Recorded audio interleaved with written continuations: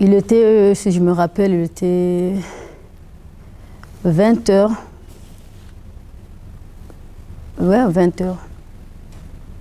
En passant, je vis un monsieur, un grand monsieur, qui me dit Arrête-toi là, c'est la police.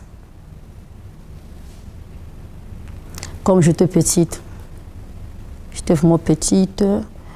euh, en fait, j'avais peur.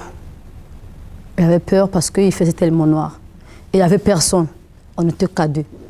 Il me dit que non, c'est la police, tu viens d'où, tout, tout, tout, me complique là, tout, tout. Il m'a pris dans le bras. Il commence à me ramener. Et pour moi, je me disais que c'était un policier. Et après, je me suis rendu compte qu'il n'était pas un policier. Il m'a ramené quelque part.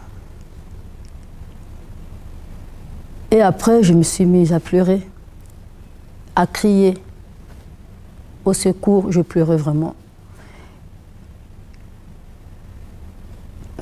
Et il n'y avait personne. Il n'y avait personne pour m'aider. J'avais gardé ça pour moi-même jusqu'à maintenant.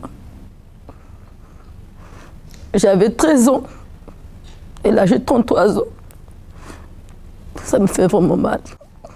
Il y a des choses quand tu parles à quelqu'un, ça te fait du bien. Mais moi je ne parle à personne, ni à ma mère, ni à mon mari. Et là j'ai une fille qui a 14 ans. Donc je veux mon père. Je veux mon père pour ma fille. Je me suis dit que non, je dois partir et chanter avec toutes ces femmes pour dire ce que je sens, ce que j'ai moi, ce que j'ai vécu de- depuis ce temps-là.